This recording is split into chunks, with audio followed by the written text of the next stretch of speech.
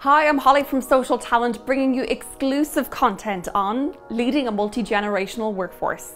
Today in 2020, there are now up to five generations in our workplaces, and this brings about challenges in how we can include every perspective and style in our teams when we've got generational divides. But actually, we've more in common between generations than we think.